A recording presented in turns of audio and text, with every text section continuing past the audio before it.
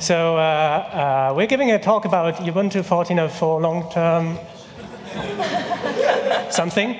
Um, no, uh, we are giving a talk about, not even that one works, sorry. Uh, we're giving a talk on okay. subtitling, Um, yeah, let, let me just on uh, subtitling videos that are being recorded back there, uh, for example. Um, uh, we are presenting work from a student project at Hamburg University in the computer science department. Uh, we tried to convince our students to present, um, but they were afraid um, this would be too late or too many people or something. So there's just one sitting over there, Florian. Hey, Florian is there. Um, so Florian uh, is uh, studying computer science uh, towards his bachelor degree, um, and together with five other students, five other students, um, uh, they are working on um, on uh, producing uh, subtitles or well, producing subtitles semi-automatically uh, for C3 videos. Um, that's the database that we selected for this task because it's freely available. Thank you very much to that. Um, but of course, the, uh, what we're going to do also works similarly well for other videos, hopefully. We haven't tried it yet. Um, so what we did was uh, we looked at last year's videos, uh, which were transcribed, most of them, or many of them at least. Um, and um, so we have the transcriptions, and for subtitling, you need more than just the transcriptions. That, that is more than just the text. Uh, you also want the timing information for that text. So you want to be able in your favorite video player to load in, for example, SRT file. That seems to be a data format for that, um, and use um, and and click that in your favorite video um, player, and then you see these subtitles, um, or maybe on a braille see uh, on a on a braille display um, if you if you can't see, or or visually if you can't hear. Um, so I'm uh, kind of uh, kind of lost now.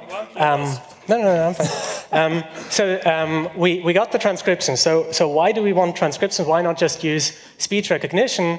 Um, it turns out that uh, speech recognition is not very good. Hey! Yay! And, and now, I'm, just- now I'm very glad uh, that I will hand over to Arne for all the difficult parts of the talk. Just uh, waiting for the. Uh, but we're almost Okay. there anyway, right? That's good enough. I mean, don't break Okay, it anymore. yeah, it's, it's I, I, I don't care. It's, Uh, no, the other way around, please. May- now. Maybe, maybe do whatever. Um, so, um, I think we already had Can you- this. the switching knob doesn't work. That's funny. Anzeige zum Hauptanzeige wieder. Komm, mach doch It is funny, isn't it? Du hast doch deinen So Okay. this computer has a demo prepared. We're looking into whether that's going to work or not. So that's- Ah, it's unlikely. Um, please, please, we, we- we had, had at least some slides. Okay. uh, yeah, okay, that's yeah. yeah. Okay. All right. So up to Arne. So, hi.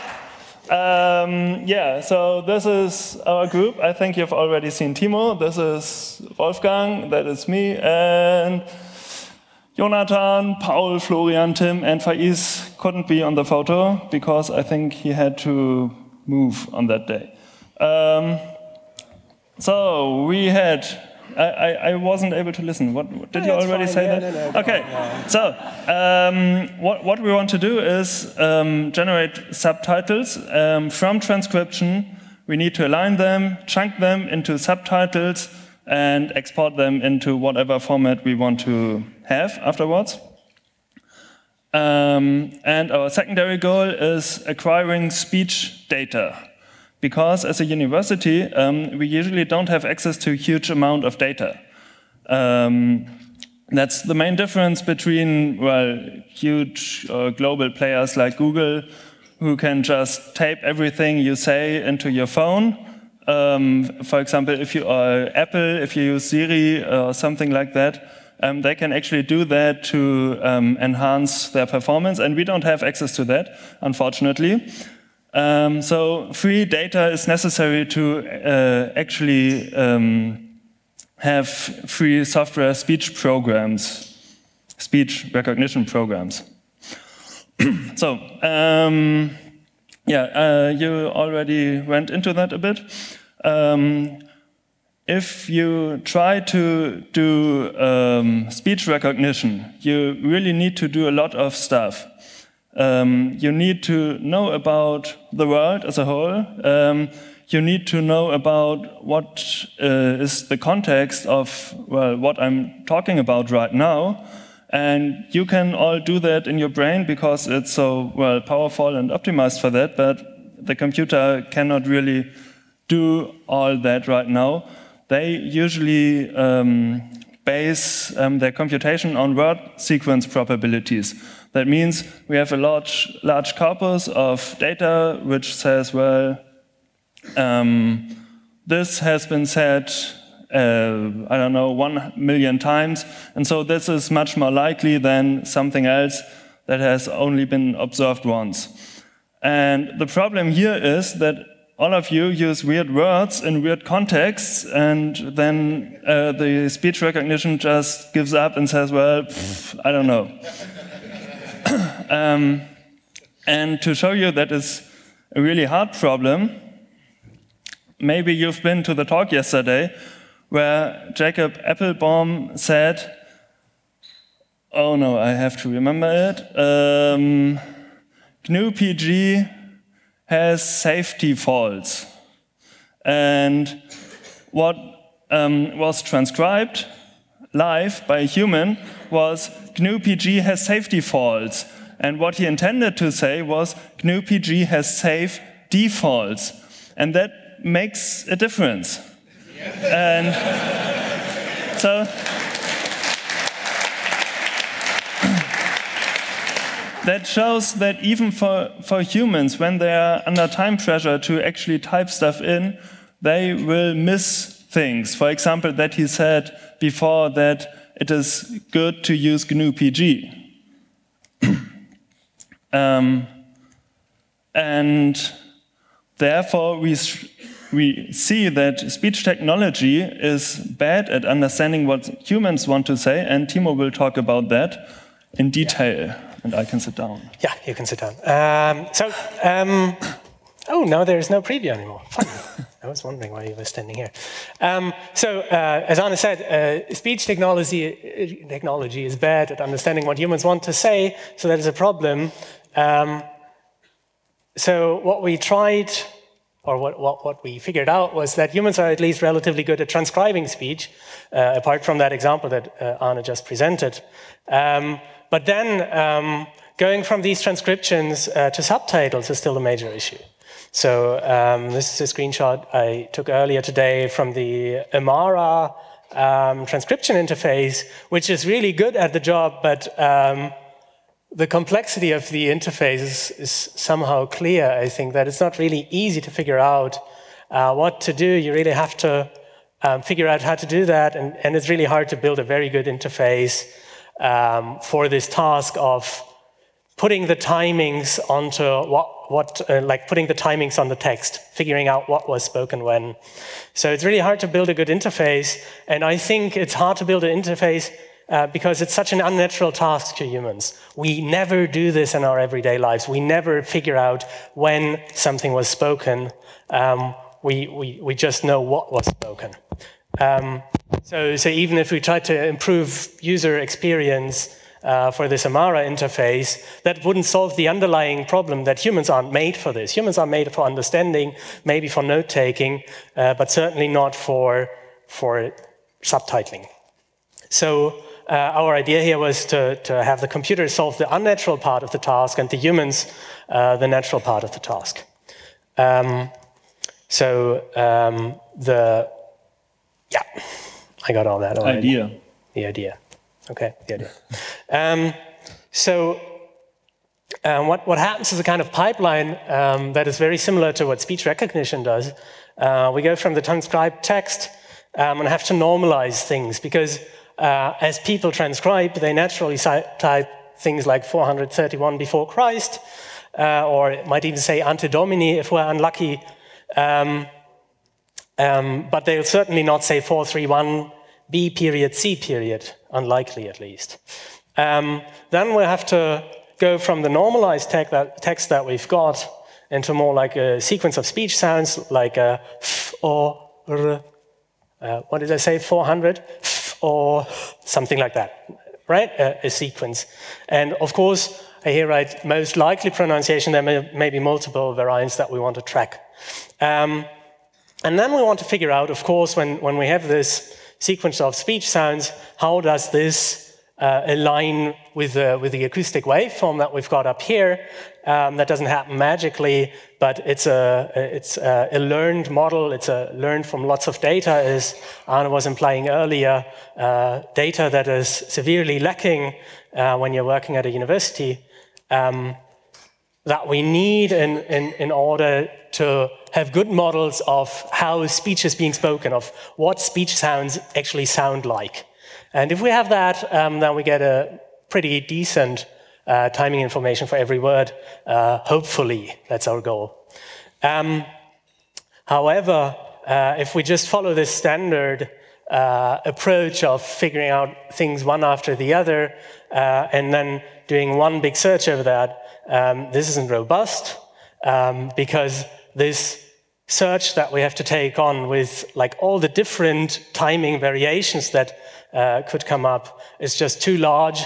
So uh, what you do in speech recognition in general is you don't do a full complete search, but you do a beam search. Um, and in our case, uh, what we notice is that the correct solution always falls off the beam. So if you're lucky, it may work um, on very short stretches, like one or two utterances in a row. Um, it may also work if you have very distinctly, clearly uh, spoken text so what we tried uh, in a different experiment was looking at spoken Wikipedia data, uh, where we have the article and the text, and people really try hard to speak exactly uh, those words that are in the article.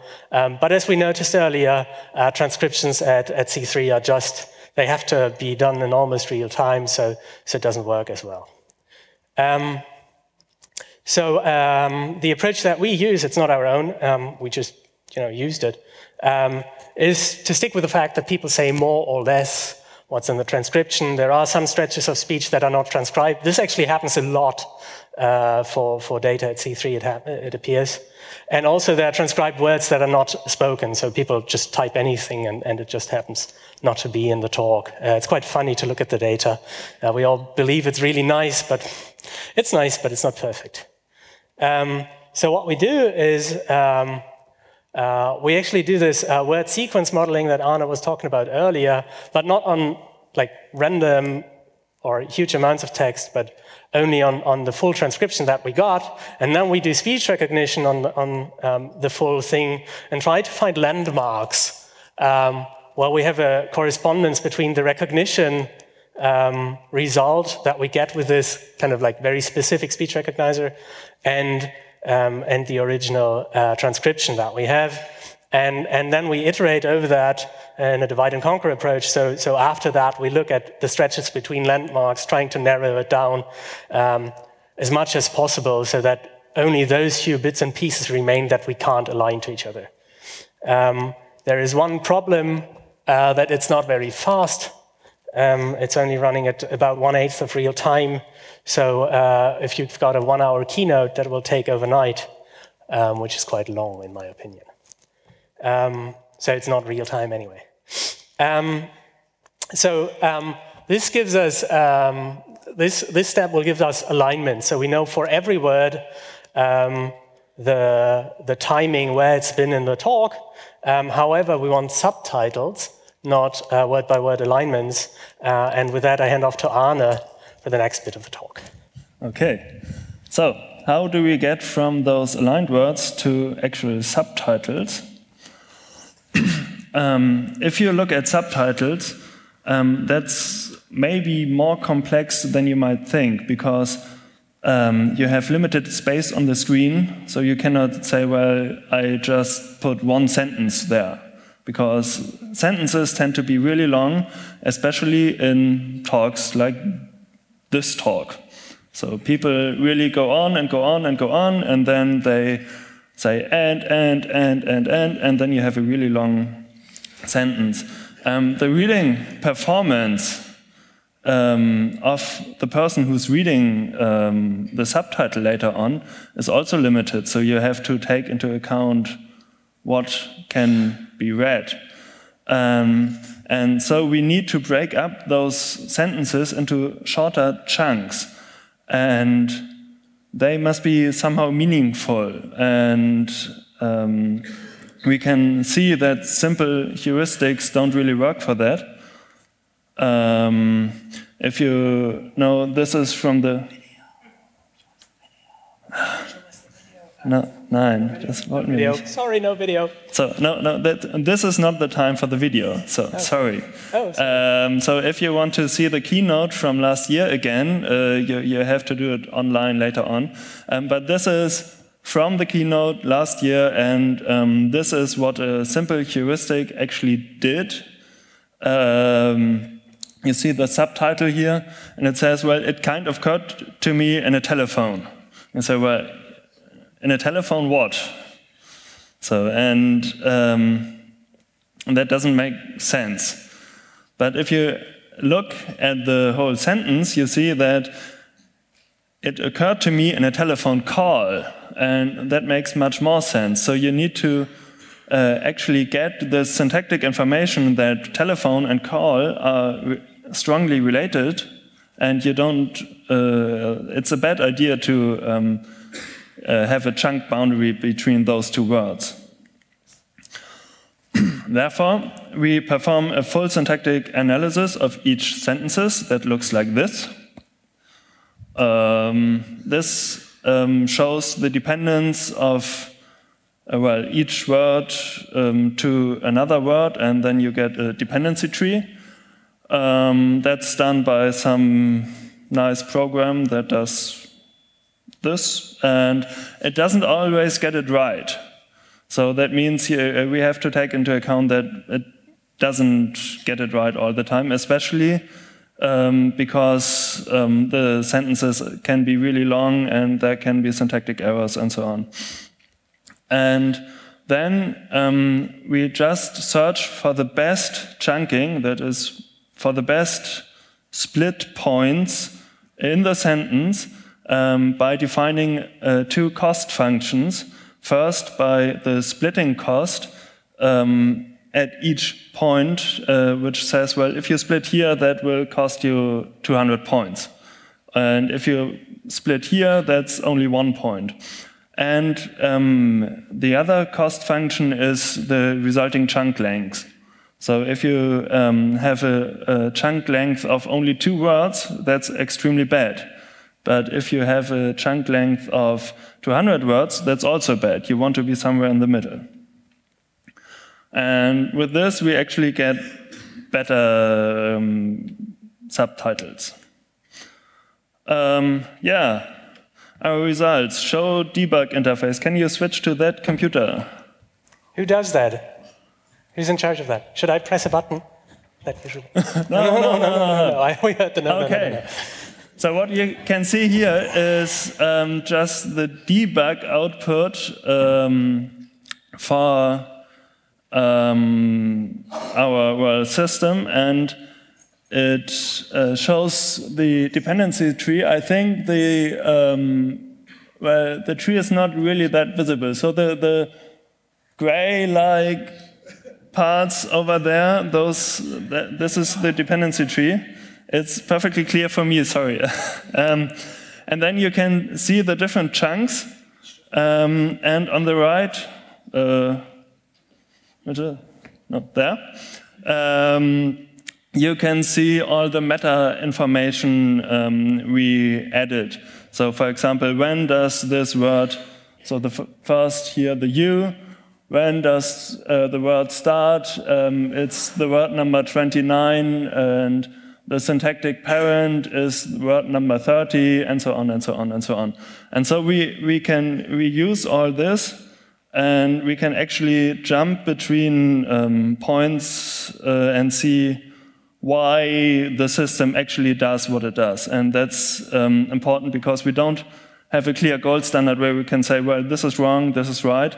We can only have a look at it as humans and say, well, this looks good. And if it doesn't look good, well, let's see why uh, this might be the case. Um, yeah. Uh, and usually you, you would hear sound and I don't know what. But not today, sorry. It, this, the sound is there, it's just not very loud. okay. Uh, if you want to switch back, that would be great.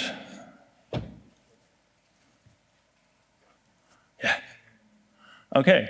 Um, I think it's me talking now. Hmm? Oh, and, and we actually process, I don't know, several videos with it, and it mostly works, and we have to uh, further uh, work on this. Um, and I think we'll go to this. Yes.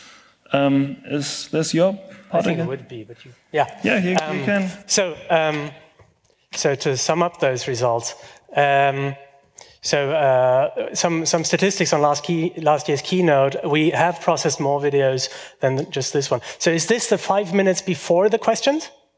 Okay, good, thank you. Um, so uh, uh, this is some statistic on last year's keynote. Uh, we get alignments for roughly 90% of the transcribed words. Um, so that's not all the words, unfortunately. Um, we have some ideas how to further improve it. Um, actually, we have a huge uh, problem with applause, which is very disruptive, um, and laughter.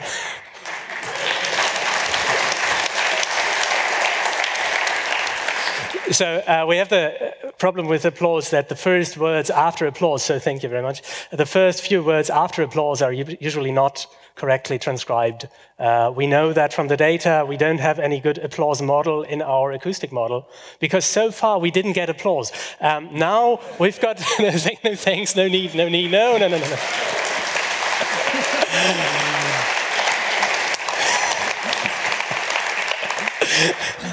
Uh, thank you.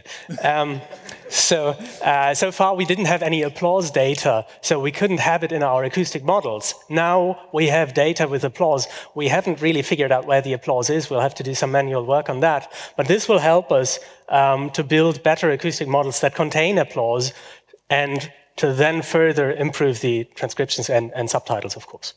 Um, so um, our current ideas are to kind of estimate the duration of those words that we don't know about. Um, again, for the statistics, most of the time it's very precise. Um, sometimes it's just totally odd. Um, we don't have any precise numbers on that. Um, I'm telling the students all the time that we need evaluation because we're doing scientific work.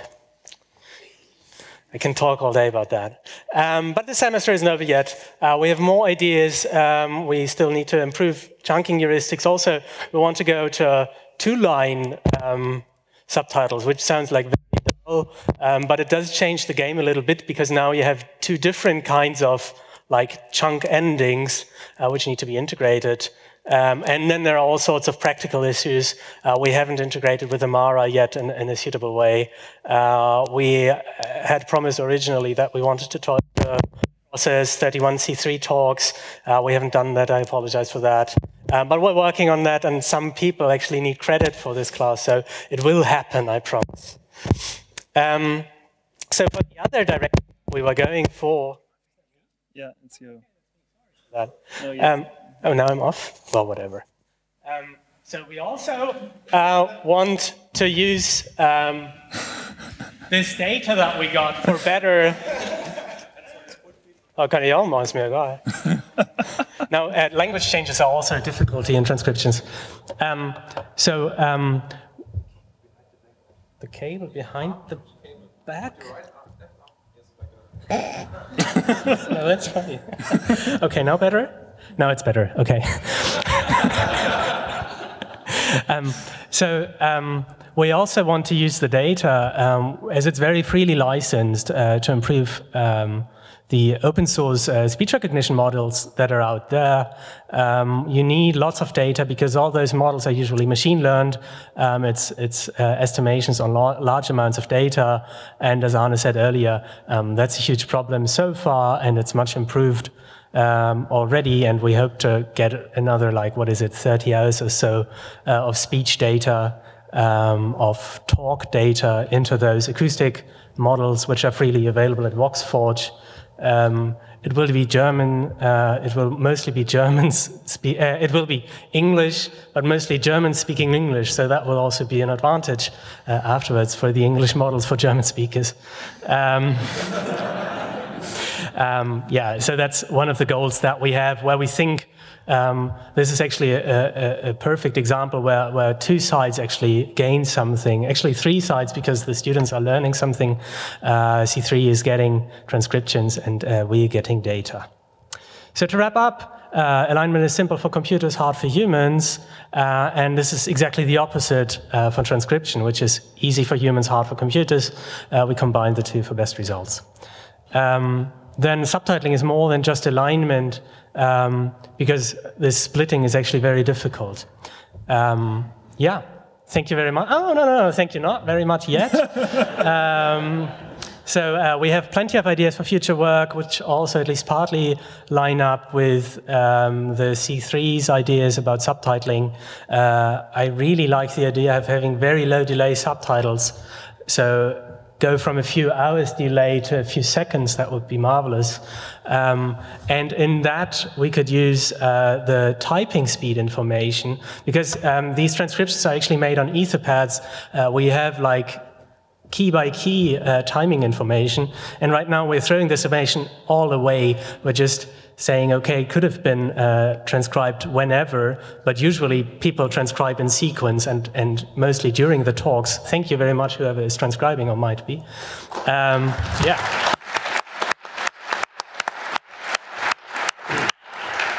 and we're throwing half of your information away for the record. Um, but uh, we intend to change that and use this um, typing speed information for the transcription process uh, for the alignment process. Sorry about that. Uh, of course, uh, if we didn't have talks but more fantastic uh, videos, we could do video analysis and uh, all sorts of other things, which would be really nice uh, to have kind of built an information retrieval content search facility where you go to the video directly when you search for, I don't know what, something, say privacy or something. All right, thank you very much.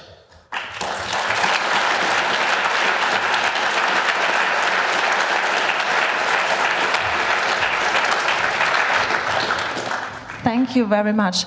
I mean, we almost are completely out of time, and I wanted to ask whether the Signal Angel has one really pressing question um, from the internet, because all the other people, it would be so great if you could just ask directly um, so we can free the room again um, for the next talk. It would be so great.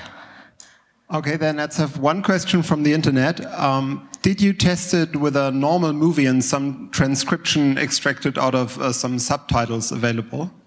Uh, no, we have not done that yet. Uh, we intend to do that, but as I said, um, not all, like our evaluation scripts aren't really done yet, so testing it on those data would be hard. Uh, I doubt that we would excel over like commercial services, uh, but we're working in that direction at least.